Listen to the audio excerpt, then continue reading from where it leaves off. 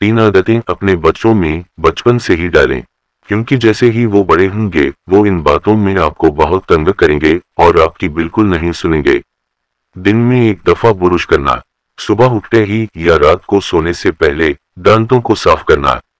शुरू में थोड़ी मुश्किल ज़रूर होगी, मगर आहिस्ता आहिस्ता वो इसके आदि हो जाएँगे। और फिर इस कदर आदि हो जाएँगे कि इसके बगैर इनकी ज़िंदगी बसर ही नहीं होगी। मुनासिब मकदार में पानी पीना बच्चों को दिन में मुख्तलिफ़ औकात में थोड़ा थोड़ा करके पानी पिलाएँ। जब वो बाहर जाएँ, इनको पानी की बोतल साथ दें, ताकि इन्हें पता हो कि पानी इनकी ज़िंदगी का लाजमी जुज है। इस तरह वो बड़े होने तक इस रूटीन के आदि हो जाएँगे। जल्दी सोना और जल्दी जागना। बच्चों की नींद का एक वक्त मुकर्र करें और कोशिश करें कि इनकी 9 से 10 घंटे की नींद मुकम्मल करवाएँ। वो अपनी नींद के पूरा होने के बाद जहनी व जिस्मानी तौर पर बेहतरीन कारकर्दगी का मुजाहरा करेंगे।